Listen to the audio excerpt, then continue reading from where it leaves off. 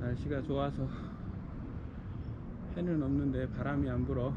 날씨가 좋네요 바다도 잔잔하고.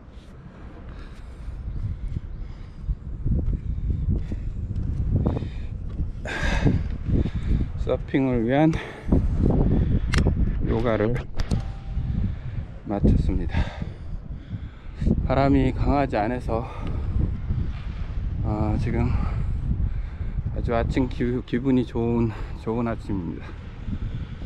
아, 등대 쪽을 산책하는 사람도 있고 물이 간조 때라서 바구니를 들고 와서 호미로 조개를 잡는 사람도 있네요. 야, 저건 뭐 차가 딱 2인승 차도 있네. 아주 아주 티코보다도 더 작은 차가 한, 하나 있네요. 경치가 좋습니다. 자전거를 타고 와서 어, 요가를 하기도 좋고 데크가 넓어서 아침에 요가하기에는 그만입니다.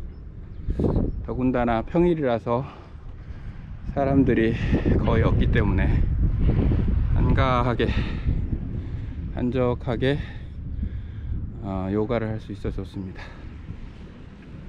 이따 오후에는 물이 들어오면 아, 패들보드 투어를 할까 합니다.